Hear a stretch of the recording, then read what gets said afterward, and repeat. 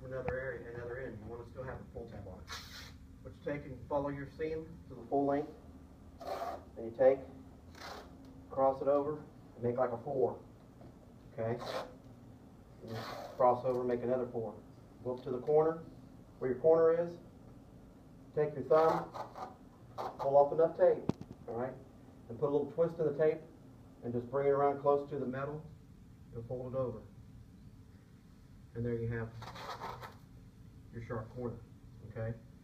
Then you bring the same thing here, twist it, bring it down,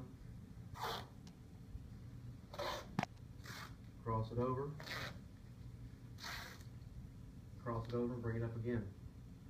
The corner, just take it, twist it a little bit, bring it, keep- it close to the metal, but keep it lifted up off the metal. Do it like this, like so, so. Same thing in the corner.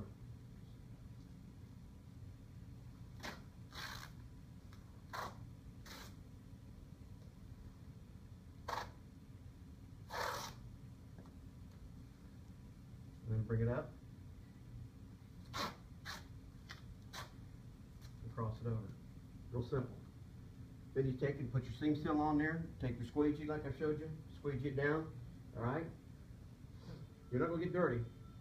And take it, grab your tape from where you tore it off the end of the roll,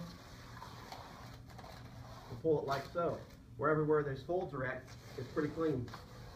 You can grab it like so.